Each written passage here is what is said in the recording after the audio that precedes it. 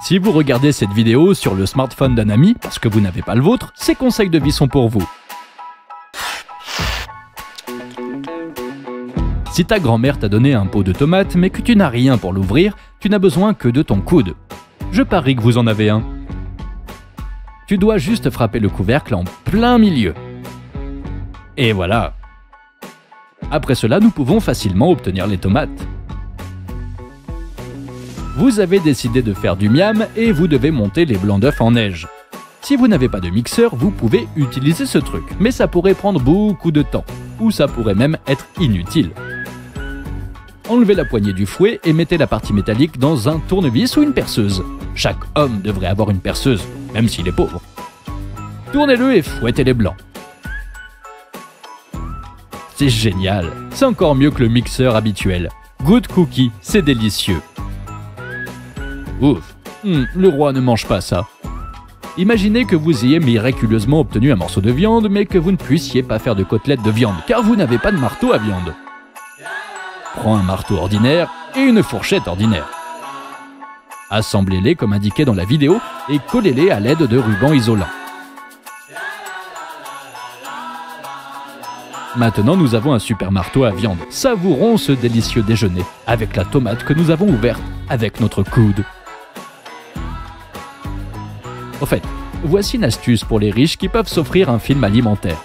On l'enlève de la planche et voilà, la planche est propre. Au cas où une lame de rasoir n'aurait pas assez d'argent pour un support, prenez la fourchette avec laquelle vous avez déjeuné. Elle fera très bien office de support. Génial. Maintenant, tu peux raser les jambes de ta copine. Tu dois souder les fils, mais bien sûr, tu n'as pas de fer à souder. Tu as besoin d'un briquet ordinaire. Mais d'abord, nous allons prendre un fil épais, que nous allons dénuder pour en extraire le noyau de cuivre. Maintenant, nous devons plier son extrémité et faire une forme comme celle-ci. Puis nous plions le fil pour qu'il ressemble à un serpent comme ceci. Puis on fait un autre pliage comme ça. Quel chef-d'œuvre, n'est-ce pas, Cookie?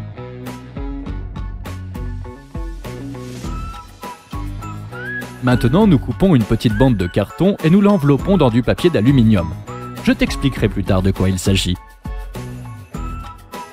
on l'attache au briquet et on le presse avec notre fil. Ensuite, tu dois les fixer ensemble avec du fil de fer fin et obtenir un truc comme ça. Après cela, nous prenons un élastique de bureau et en le pliant en deux, nous le tirons sur le briquet. Maintenant, lorsque nous appuyons sur le bouton, l'élastique le maintient dans cette position et la flamme brûle constamment. C'est ça, nous faisons tourner notre bricolage horizontalement pour que la flamme chauffe le fil et nous obtenons un mini fer à souder improvisé. Si nécessaire, on peut l'utiliser pour de petits travaux de soudure.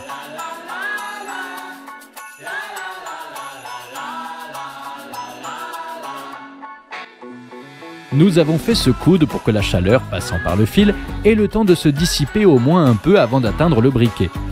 Il y a du carton dans la feuille, ce qui empêche le contact direct du fil chaud avec le boîtier du briquet. Et le fil de cuivre enroulé agit comme un dissipateur de chaleur, qui prend l'excès de chaleur pour finalement le dissiper. Si vous avez apprécié cette vidéo, n'oubliez pas de l'aimer et de vous abonner à la chaîne.